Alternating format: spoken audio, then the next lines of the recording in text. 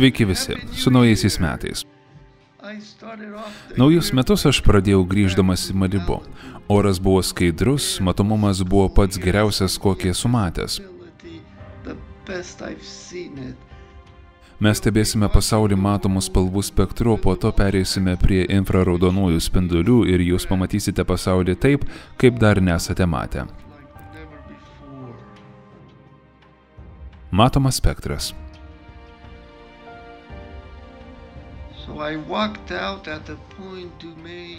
Taigi aš nuėjau į Point Dumei natūralios gamtos rezervatą, kur yra labai puikiai apžvalgos vieta.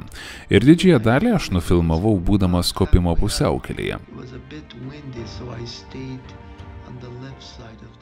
Buvo šiek tiek vėjuota, todėl aš buvau kairėje kalvos pusėje ir štai čia yra vaizdo įrašas. Čia yra tai, ką matėte. Tai matomas spektras. Vos galima matyti Baldy kalną. Ten matote Palos Verde tašką ir Kataliną.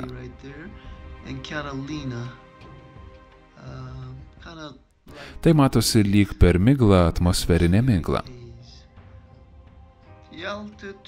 Šioje vietoje aukštis buvo apie 45 metrai, o viršūnėje apie 61 metras. Vėliau aš šią informaciją panaudosiu mūsų matomo vaizdo analizai. Dabar šiek tiek priartinkime, kad pamatytume. Čia tik nuotrauka. Čia mes vos matome. Mes vos galime įžiūrėti Baldy kalną. Jis yra beveik už 113 km. Bet pastebėkite, kad mes ten nematome nieko kito, bet infraraudonųjų spindulių vaizde viskas matysis aiškiai. Pažiūrėkite į šį įspūdingą vaizdą. Beveik infraraudonųjų spindulių spektras.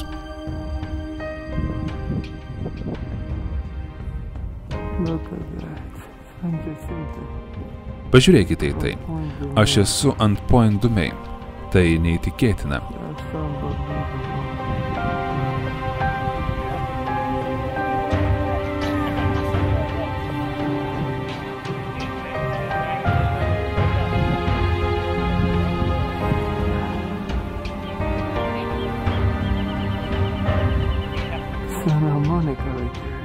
Čia matote Santa balls.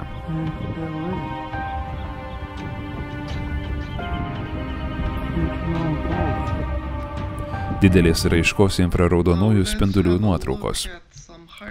Dabar pažiūrėkime į kelias didelės raiškos infraraudonųjų spindulių nuotraukas.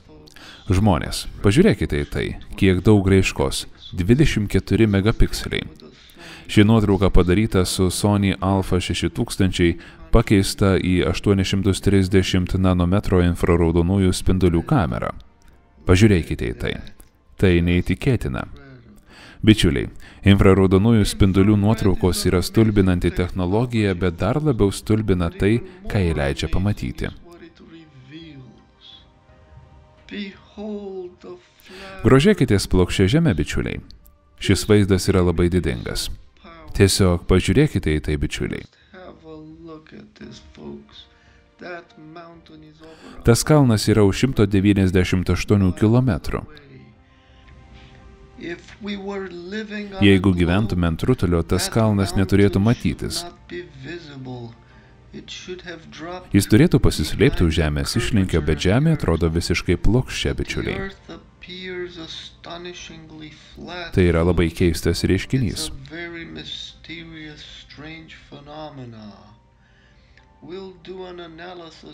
Tuoj darysime analizę, nes šioje nuotraukoje atskleidžiami labai įdomus dalykai.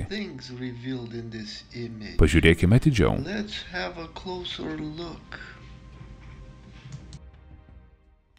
Analizė.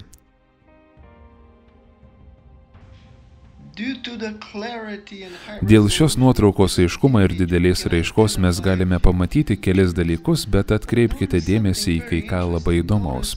Atkreipkite dėmesį į skirtumą tarp A ir B. Delta yra apie 91 metras, o delta tarp C ir D yra 180 metrų. Bet palaukite sekundę. Tie atstumai yra beveik tokie patys iš šio kampo. Ir tada pažiūrėkite į apačią, į E ir F ir delta tarp jų yra 850 metrų. Tai neįtikėtina. Čia vyksta nelinijinis suspaudimas.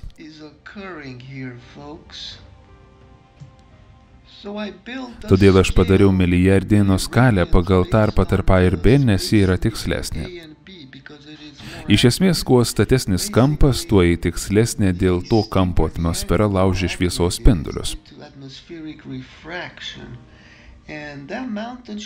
Tas kalnas turėtų būti apie 17 milijardianų, taigi šiek tiek suspaustas jis siekia apie 14, beveik 14. just shy of 14. Very Bičiuliai, čia labai įdomus reiškinys suspaudimas. So we actually see Taigi mes matome visą kalną, bet jis yra suspaustas. O tai yra labai keista, bet apie tai pagalvojus taip pat nėra įprasta. Kai matome kylantį down. pradžioje, jis kartais būna lyg suspaustas, panašu, kad atmosfera tai daro. um, Jis suspaudžia dalykus, kai žiūrime į netoli horizonto esančius taškus. Aš pradėjau uh, ieškoti šių Earth taškų per that. Google Earth. Čia yra nedidelis vaizdo įrašas ir kelios nuotraukos, kad suprastumėte, ko reikia, kad būtų galima aptikti šiuos taškus.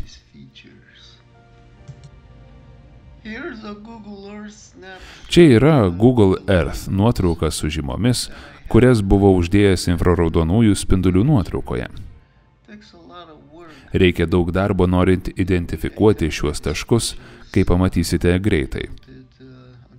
Aš naudojau Google Earth ir sukiojau aplinkui, priartinau ir varčiau vaizdą, kol įsitikinau, kad matau tai, ką reikia. Pažiūrėkite, aš judinu į priekį ir atgal ir mes galime suprasti, ką iš tikrųjų matome ir viską reikia labai atidžiai išstudijuoti. Atkreipkite dėmesį, kaip proporcija netitinka nuotraukos vaizdo. Taip yra dėl suspaudimo.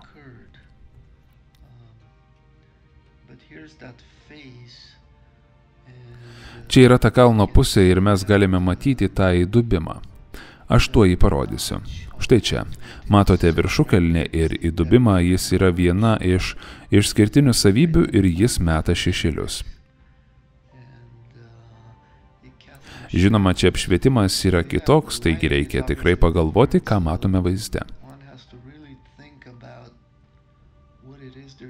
Turėkite omenyje, kad mes tai matėme iš toli ir žiūrint per Google Earth perspektyvą yra kitokia.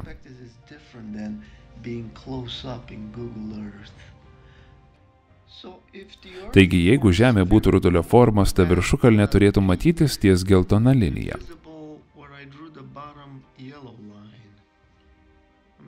Pažiūrėkite, koks didelis skirtumas. Dešinėme kampe yra iliustracija, kurioje parodyta apvalios Žemės geometrija. Pažiūrėkite į mėlyną punktyrinę liniją, kuri yra jūros lygio liestinė. O raudona linija yra priekinio plano obstrukcijų liestinė.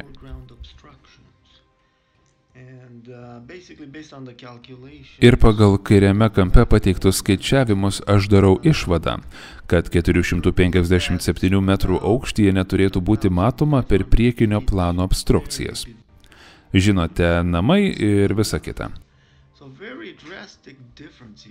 Taigi čia matome labai drastišką skirtumą, bičiuliai. Taip. Dabar labai greitai apžvelgsime skaičiavimus. Kalno aukštis yra apie 3,29 km. Stebėjimo taškas yra 45 m aukštyje. Mes darome prielaidą, kad horizontas yra už maždaug 24 km ir tai yra gerai, nes atstumas iki kranto yra apie 145 km. Now, the curvature Taigi išlinkis turėtų paslėpti apie 2,38 km ties vidutiniu jūros lygiu. Darome prielaidą, kad Žemės obstrukcijų aukštis yra 76 metrai ties 22 km. Naudojant Google Earth aš žiūrinėjau aplinkui išilgai tako, nes norėjau pažiūrėti, kokie aukščiai. Bet kokiu atveju tai reiškia, kad yra, žinote, didesni obstrukcijų atstumai ties 198 km į tolį. at 123 miles out. So anyway, I calculate about 9 Taigi aš apskaičiavau 2,83 km obstrukcijos.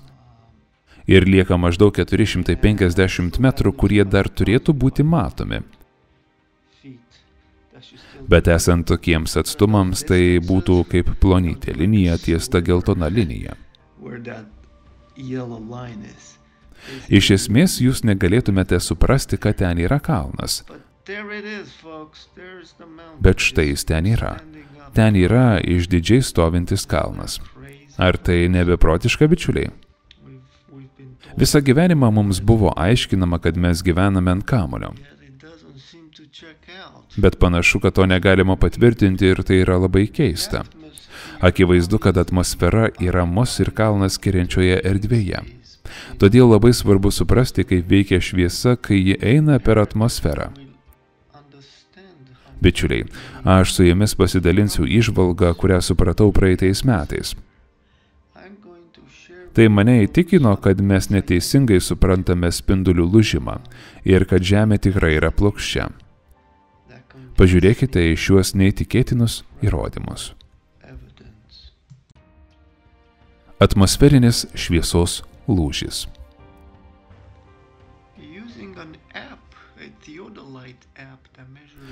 Naudodamas Teodolitę programėlę, kuri leidžia išmatuoti kampus, aš pastebėjau, kad virš vandens esantis horizontas nėra toje vietoje, kurioje jis turėtų būti. Čia aš tiesiog stoviu paplūdimyje, Kiveste, Floridoje ir horizontas yra ne toje vietoje, kurioje turėtų būti.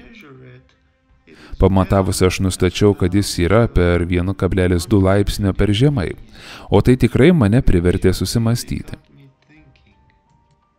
Kadangi horizontas atrodo lyg esantis daug žemiau, tai reiškia, kad šviesos spinduliai išlinksta į viršų. Ir taip sudaro įspūdį, kad horizontas yra žemiau. O tai iš tikrųjų paaiškina labai daug dalykų. Kodėl atrodo, kad laivai dinksta už, na, žinote, už išlinkio, tariamo išlinkio.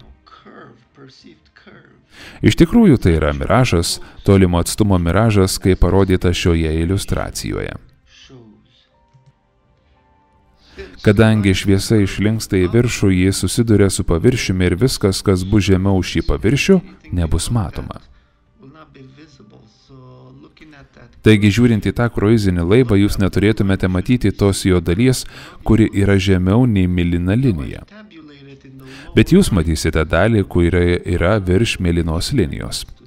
Dešinėme kampe aš pateikiu kelis pakilimo kampus pagal stebėtojo buvimo aukštį. Taigi, esant maždaug 1,2 laipsnio kampui, mes esame maždaug 300 metrų, gal 1500 metrų aukštyje. Bet mes stovime paplūdimyje. Tai atrodo neįtikėtina. Taip, yra tikrai dėl šviesos lūžimo į viršų. Aš manau, kad tokį spindulių lūžimą sukelia skyščio virtimo į garus ribos sluoksnis.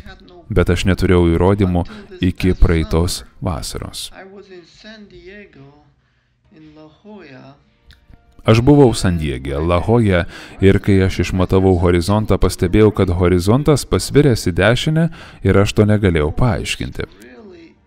Atkreipkite dėmesį, kai paviršius horizontas pavirtęs į dešinę ir tai mane tikrai suintrigavo.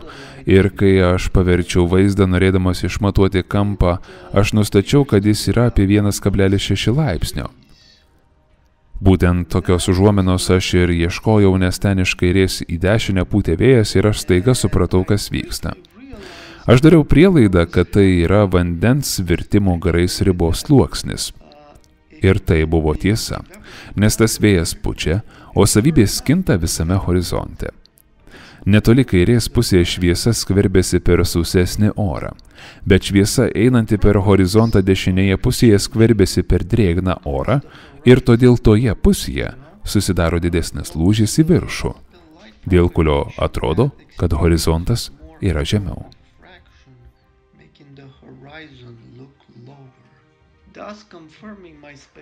Tai patvirtina mano prielaidą, kad tai tikrai šis garų susidarimo sluoksnis.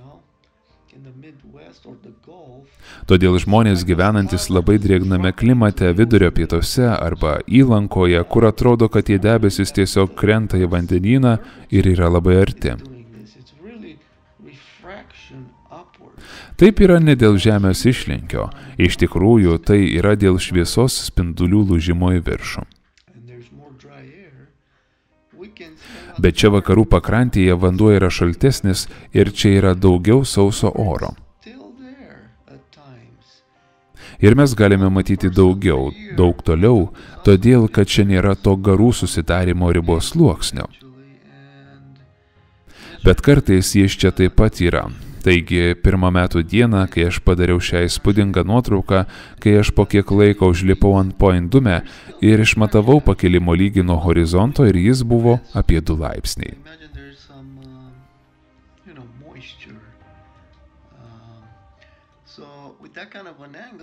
Taigi, čia dar yra šiek tiek šviesos lūžimo.